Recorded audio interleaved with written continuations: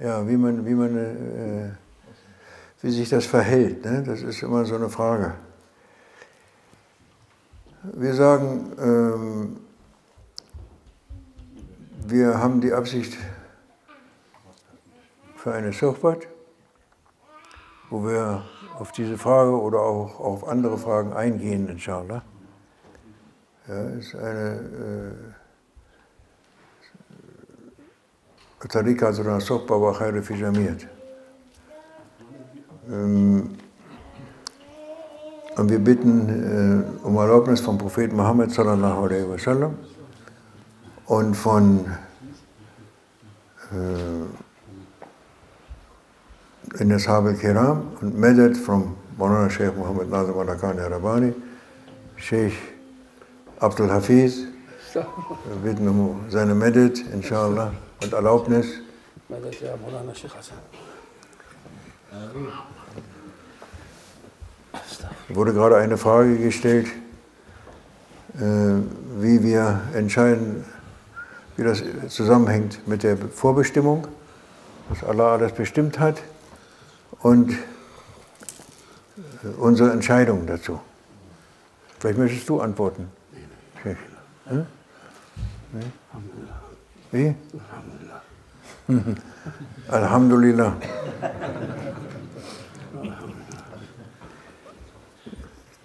Ja, wir bitten um Unterstützung. Bismillahirrahmanirrahim.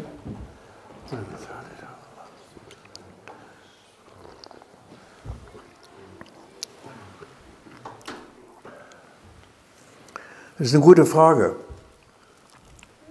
Das ist eine sehr gute Frage.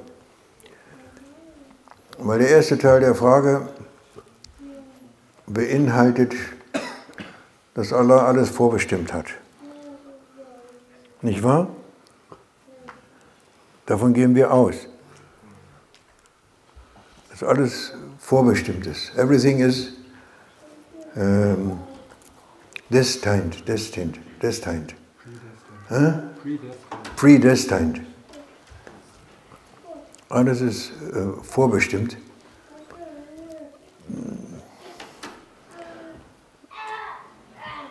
Sogar, dass du vom Sitzen in, jetzt in die Hocke gehst, auf den Knien, ist vorbestimmt.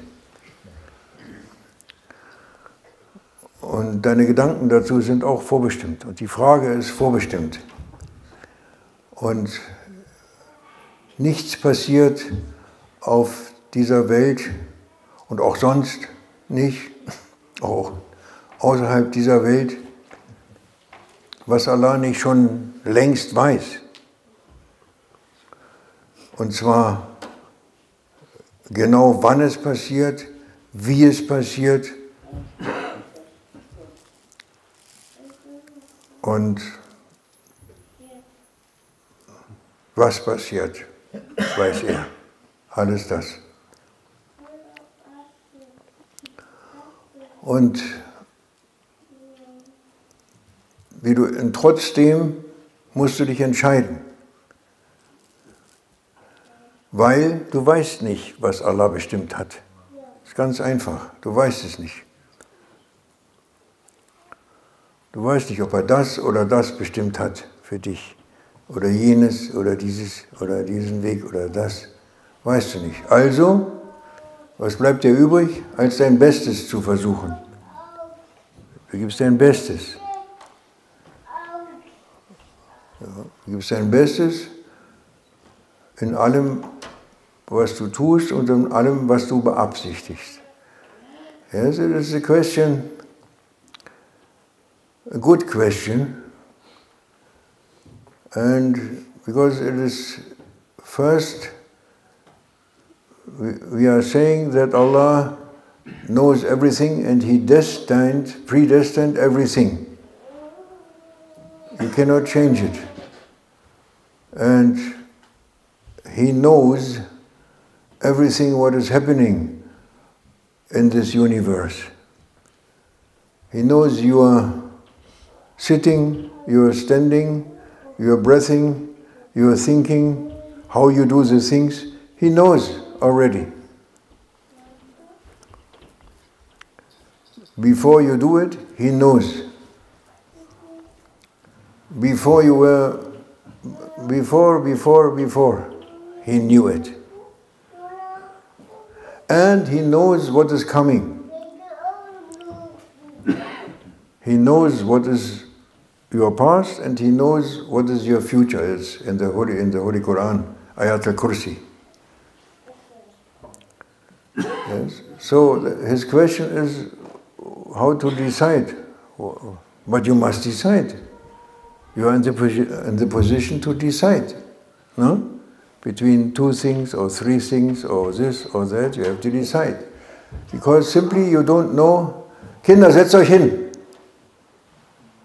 Oder geht woanders spielen. Oder die Mütter müssen aufpassen und die Väter. Das geht nicht. Wir können nicht hier alles zerstören wegen, wegen Kindertrabbel. Das geht nicht.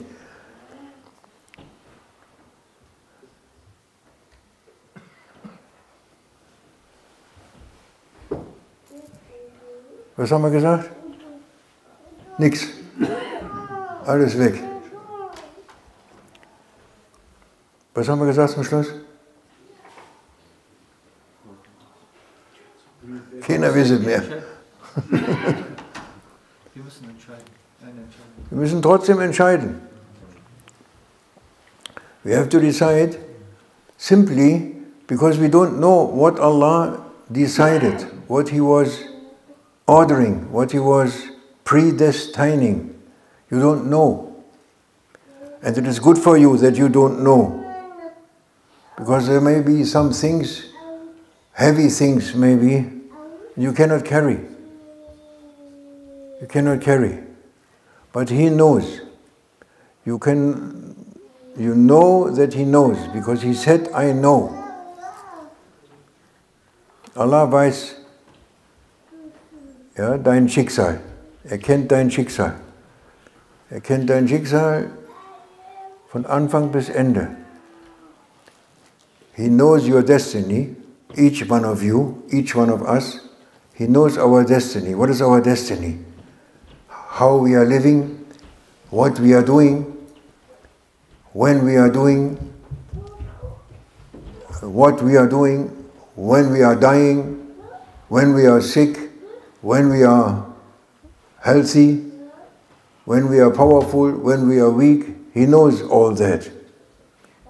He knows with which people you are coming together, at what time you come with them together, why you come with them together, what is happening between you and other people. He knows all this. There's all in all things, there's wisdom. In His creation, there is wisdom. In everything. Ja, ist überall Weisheit. In allem, was passiert. Er weiß dein Schicksal, unser Schicksal. Von jedem Einzelnen von uns kennt er unser Schicksal.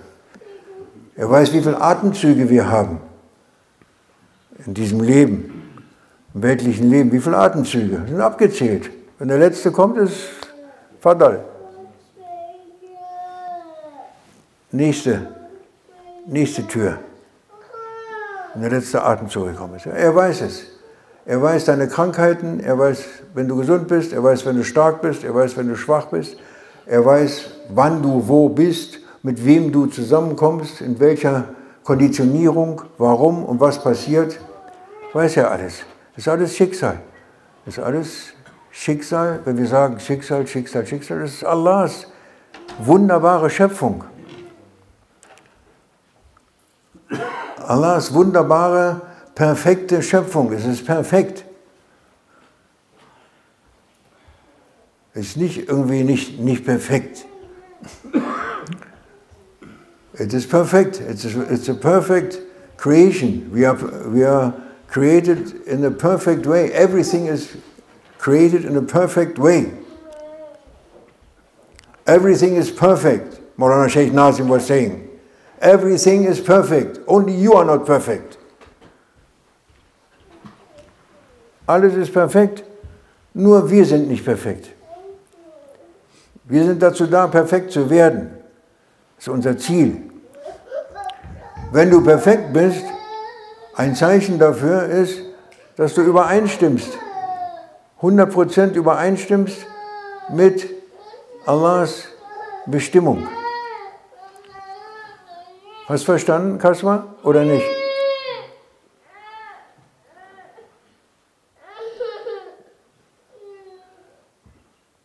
Das ist perfekt. Das ist schwierig. Das ist schwierig. Das ist schwierig.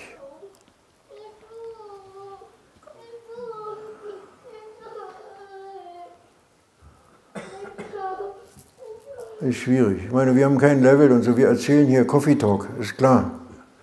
Wir machen Coffee Talk. Ja, ist, unser Level ist Coffee Talk. Our level. But still, we are intending a sohbah. We are intending to say to Maulana Sheikh, please be with us, give us something for our hearts. And at the time of Sheikh Abdullah Darastani, when somebody was making like this in the suhbah, finish. Yeah. That is the reason, you see.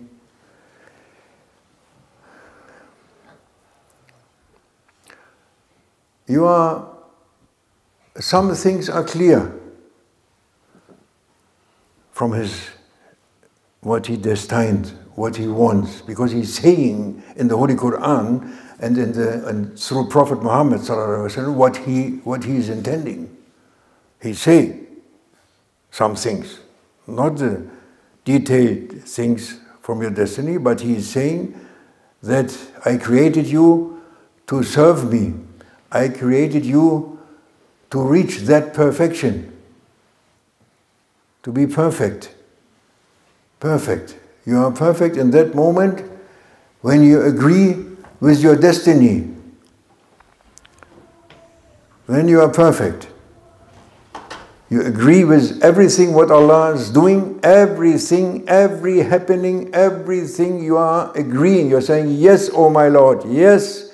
And if, even if it's terrible and I don't like it and it's against my ego, I'm saying, Yes, oh my Lord, you know better and there is wisdom behind it.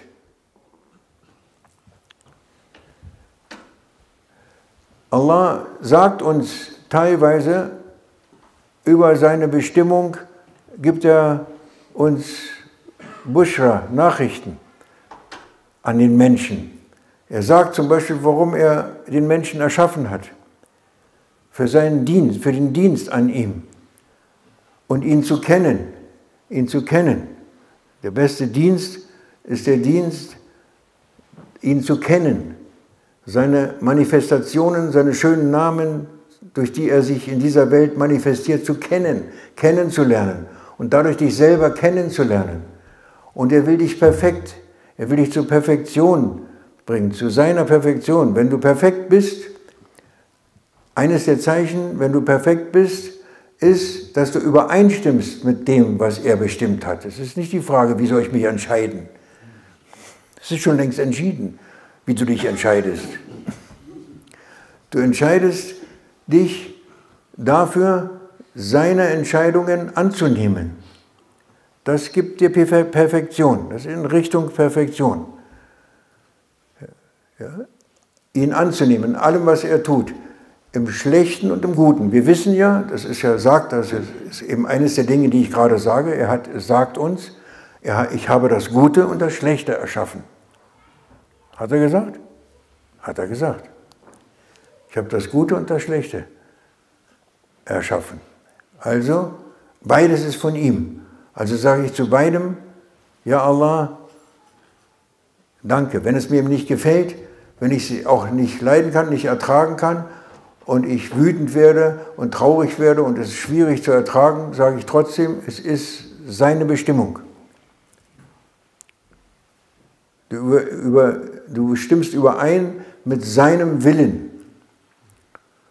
Das ist das Ziel des Menschen, übereinzustimmen mit dem Willen des Menschen, äh, mit dem Willen des, seines Schöpfers, mit dem Willen des Schöpfers übereinzustimmen. Das ist eine, eine Grundentscheidung. Die Entscheidung musst du einfach fällen. Wie du dich im Einzelnen entscheidest, da tust du immer dein Bestes. Du musst dein Bestes geben. Und der Prophet hat gesagt, was ist das Beste? Was ist das Beste? In vielen Fällen, er hat hier tausend Fälle gesagt, tausend Fälle, wo er sagt, tu das in diesem Fall, tu das in jedem Fall, tu das in. Ja, die Sunna des Propheten, die führt dich sicher zur Perfektion. Yes, you have to do to follow Prophet Muhammad sallallahu alaihi wasallam and what he said, and what is to decide in certain things.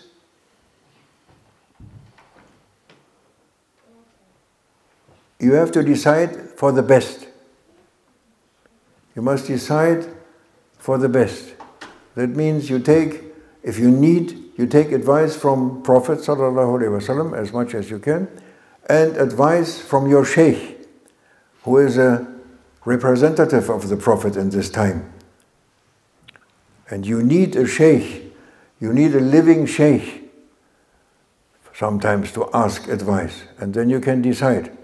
There's also istikhara, the istikhara prayer. Seven nights before you sleep, you pray two rakats and you ask, if you have to decide between two things, you ask Allah that He show you what is the right thing to decide. And then you ask Him to give you the power to, that is very important in this dua, that the, most people, they forget this. Whatever you decide, Ya Allah, give me the power that I can accept it and do it. Even it was against my ego. I was the other. I want the other. but you said the other one, but I need the power to accept your advice, your decision. Ja, es gibt das Istikhara-Gebet. Ja, man muss sich zum Besten entscheiden. Nach bestem Wissen und Gewissen. Und man soll sich beraten. Man kann sich beraten mit dem Propheten, sallallahu alaihi wasallam, in seiner Sunna. Und du brauchst aber einen Sheikh, einen lebendigen Sheikh, der den Propheten vertritt in dieser Zeit, um ihn eventuell um Rat zu fragen, um Entscheidungen zu fragen. Weil er hat mehr Einblick in, die, in dein Schicksal. Ein echter Sheikh, ein echter Meister, der kennt dein Schicksal. Nicht, dass er es kennt wie auf dem Blatt Papier. Allah gibt ihm die Kenntnis. Allah gibt ihm, was immer er ihm gibt. Wenn es notwendig ist, gibt er ihm die Kenntnis deines Schicksals. Dann ist er ein richtiger Sheikh.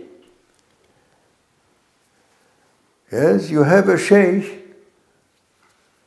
who is with you representing Prophet wasallam, and he, if he is a real sheikh, he knows your destiny. By what? By Allah's will. By Allah's will.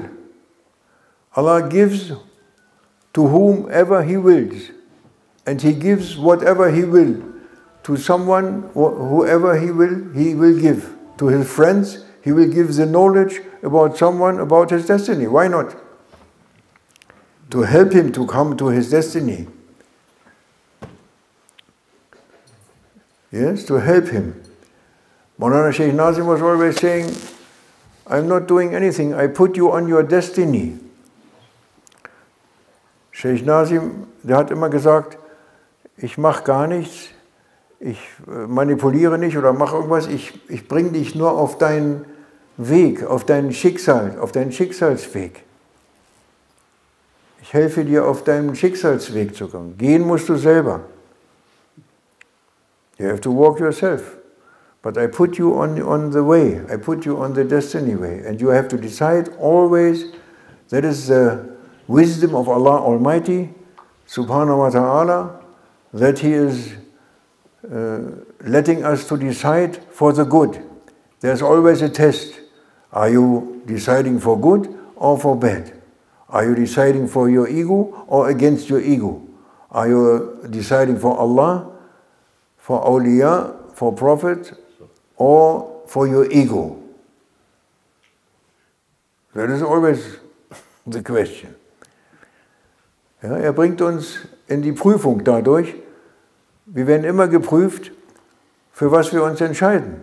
Entscheiden wir uns für Allah Allah zufrieden, versuchen Allah zufrieden zu machen, den Propheten zufrieden zu machen, den Scheich zufrieden zu machen, ja, dein Herz zufrieden zu machen, ja, für diese Sache oder für dein Ego. Oder entscheidest du dich für dein Ego? Ich entscheide mich für mein Ego. Ich möchte meine Ego-Ideen, meine Ego-Sachen und ich beklage mich über diese Welt und es ist so furchtbar und ich bin rausgeschmissen worden und ich und diese, das, mein Auto ist kaputt gegangen und ich mit weltlichen Dingen klage ich und klage und klage.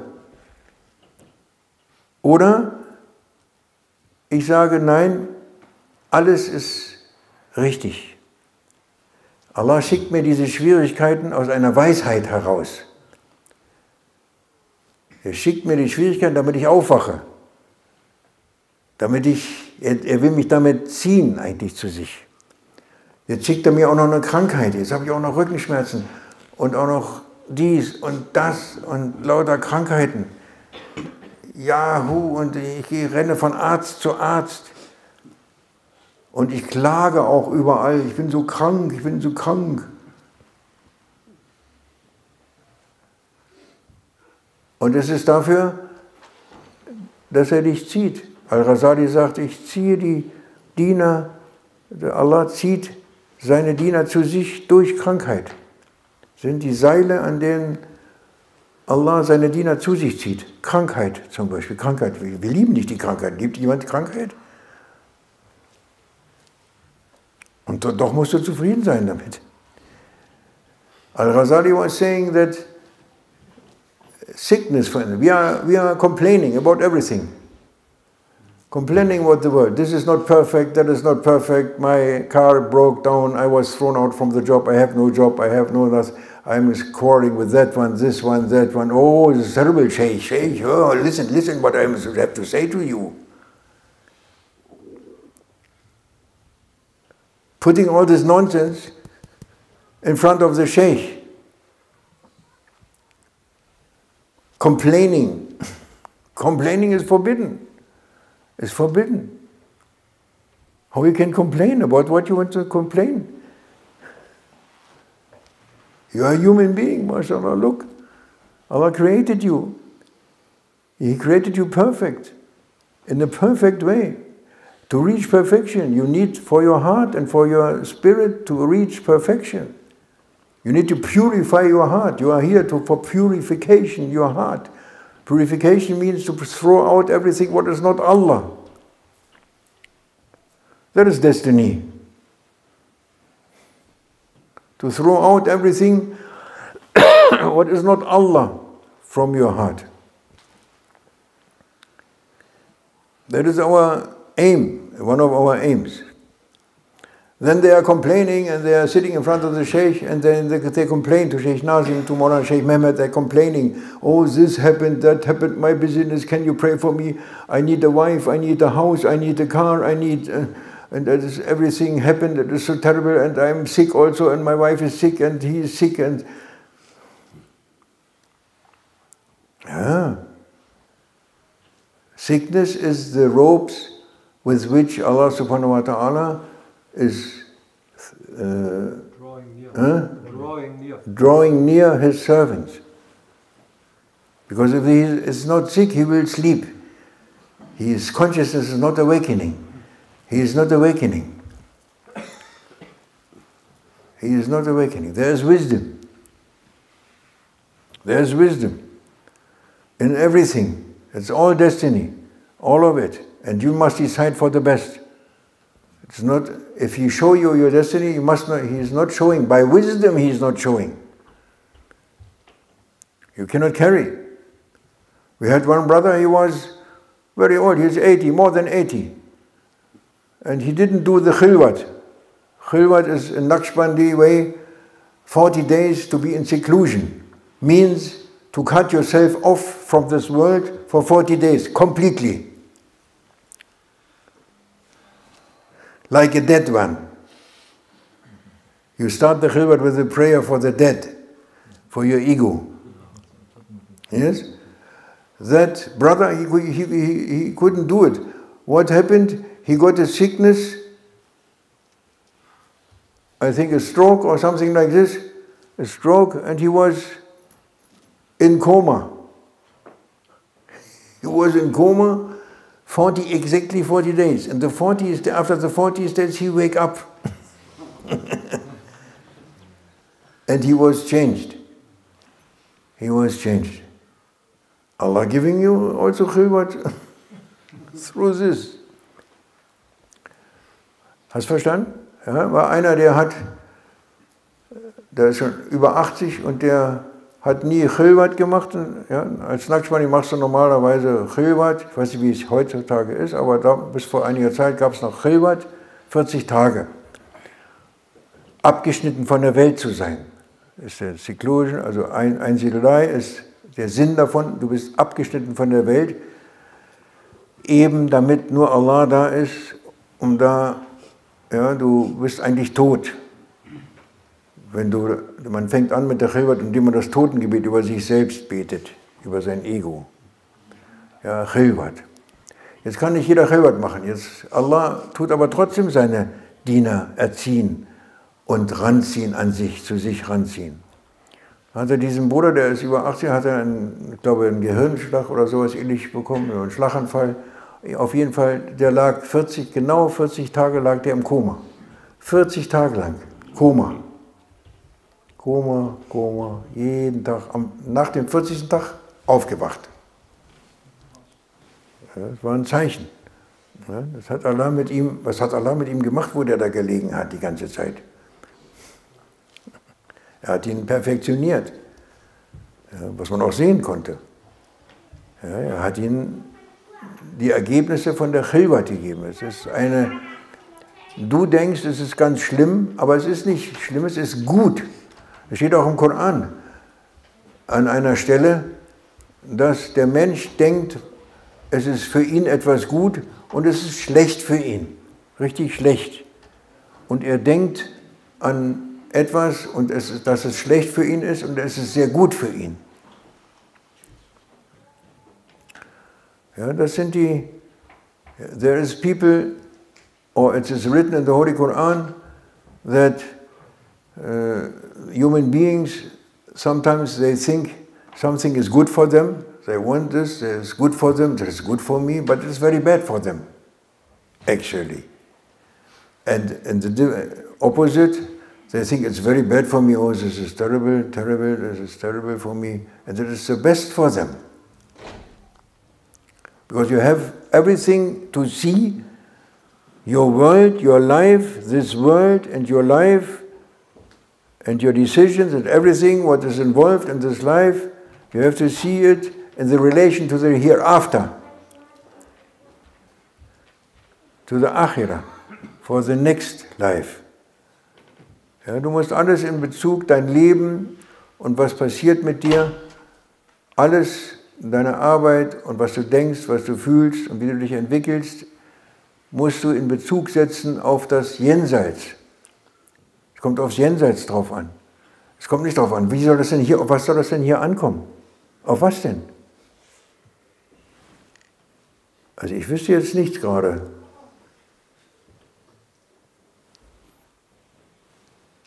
Was nimmst du mit? Deinen Professortitel, den kannst du auch nicht mitnehmen. Dein Doktortitel auch nicht, dein Auto auch schlecht, passt nicht rein. Und äh, dein Haus ist auch, du kriegst dann eine kleine Wohnung, ja, 80 mal 2 Meter zum Schluss.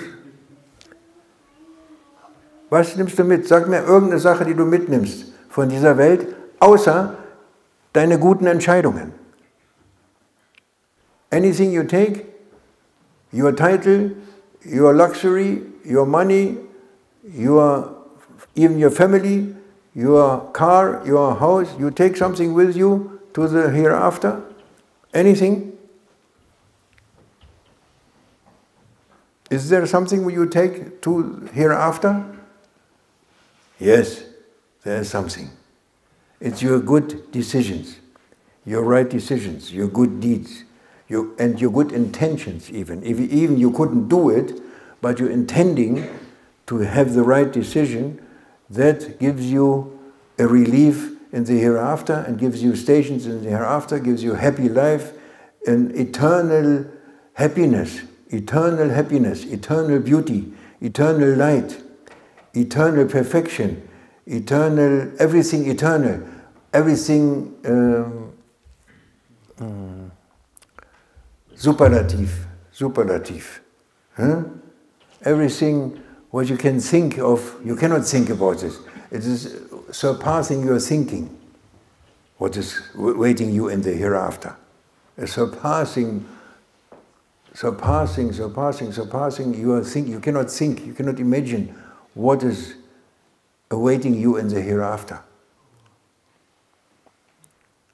Allah is not uh, saying, oh, I create some animals and then some people, they are also animals, more or less, and I let them to kill each other and do this and do that, and then I'll put them in hell.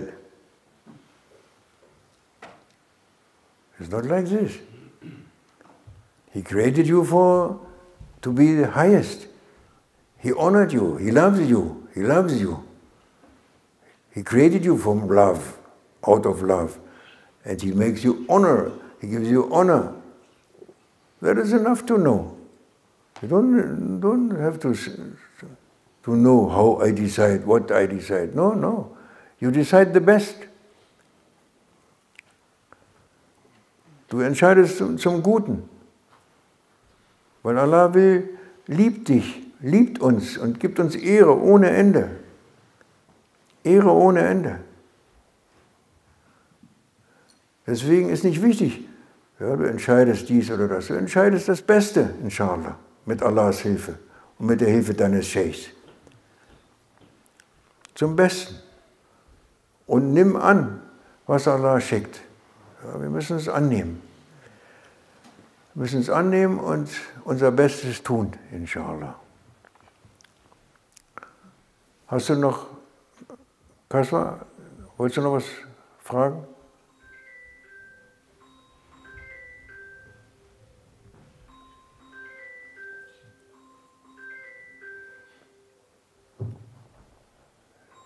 Bist nicht zufrieden mit der Antwort, ne? Was? Sehr zufrieden. Sehr zufrieden?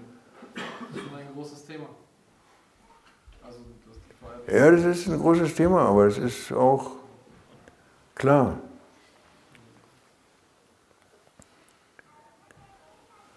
Ne?